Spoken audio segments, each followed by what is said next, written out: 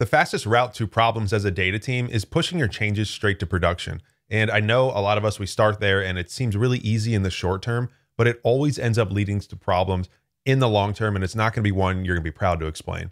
So in today's video, I want to explain how you can get around this problem by using version control and specifically why your team should absolutely be using version control so that you can stop losing your changes, you can release your code faster, and overall work better as a team. So number one, version control tracks all of your historical changes. This gives you a lot of transparency and insight into every individual step of a particular piece of code. And considering a lot of the tools today are open source and code based, having the ability to do this is a huge feature and one that you don't want to be missing. Having this information tracked, again, not only makes it transparent for everybody, but also allows you to revert and go back to previous versions of your code. So if you deploy something that breaks, that's not the end of the world. You don't lose everything. You can just go back and pull those changes from your version control. Now, one thing I still see teams doing today is within their code itself, let's say a store procedure, they have a comment block that lists the individual changes and who made those changes in plain text. But version control eliminates the need for you to do this. And not only does it track who did the changes and when, but allows you to see the specific characters and lines that were touched as part of that change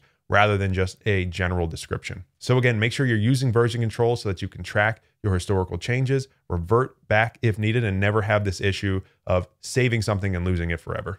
Next is version control allows you to automate your workflow. Again, we mentioned a lot of tools are code-based now, which means that there are easy ways to automate them and they're designed with this in play. A common example is CI/CD or continuous integration, continuous deployment.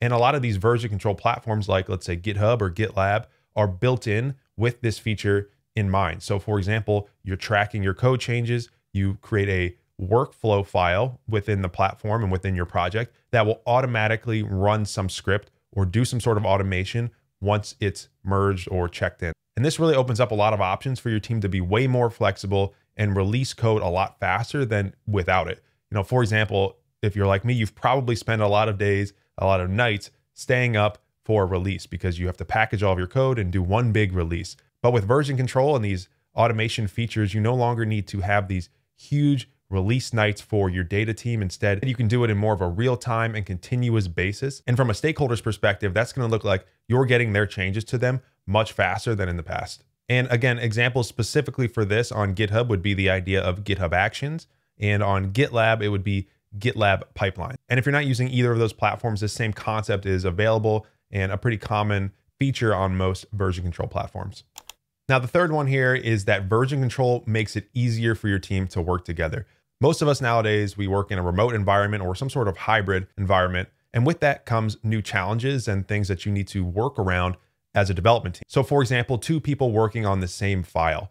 If those two developers are unaware and they both try to merge the changes, in a previous world without version control, you might be overriding each other's changes and be a little confused about whose is live and just waste a lot of time trying to figure that out. But with version control, it will immediately call out any conflicts for you so that you can get to the root of the problem. And even if you're working completely separate at different times, it will call out those changes for you. So you never have that problem of unknowingly overriding somebody's changes.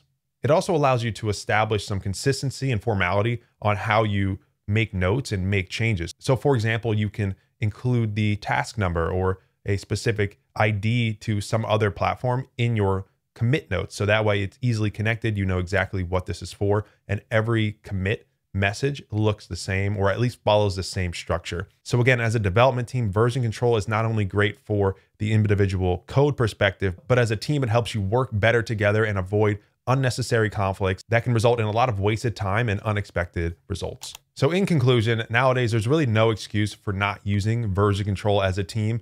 You know, with it you can track your history, you can automate your workflow and just work better as a team. So I hope you found this video helpful. Thanks as always for watching and I'll see you next week.